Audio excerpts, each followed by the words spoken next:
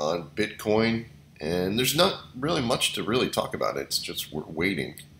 Um, we can see the first declines that we had over here, where we went down to the 9,000 level, and now the the big one, the one that'll cause all the the real panic or whatnot, is going to be right here around just under 8,500, which there's a gap on the CME, um, if you're aware. Uh, if you follow anything like that, that should be filled.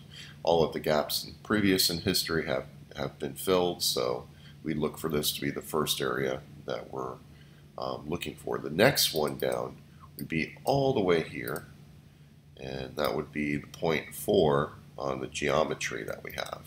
But that's not even really interesting to us. We're going to look for numbers that go all the way back down to the 6,000 and under range, and maybe all the way down to here from the previous. Um, that would cause panic. People would be freaking out, and uh, there's all kinds of stuff in the marketplace that could lead up to this. But there's no balance in this chart until we get down to these levels. Um, uh, on the Coinbase account, I would be a buyer under here. Um, I would start buying. Uh, then we would have this one right here as a pop point. This is a pivot point, and we'd look for it to trade back up to there on a break under down to here, and maybe down to here, and then break back up to here before retesting back down to here. So the pattern is going to be kind of like this, up.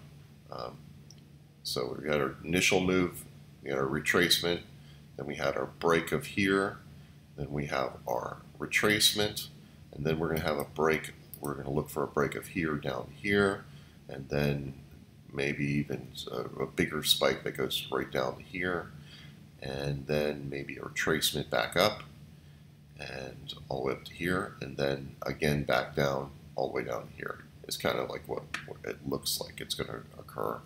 Um, again, balance is not, there's no balance in this until you get all the way back down to that 6,000 level. And that's what the chart is telling us. And we'll keep waiting because that's all we can do. Other than that, I hope you guys have a great week. It's very boring. Again, nothing to really look at, to note.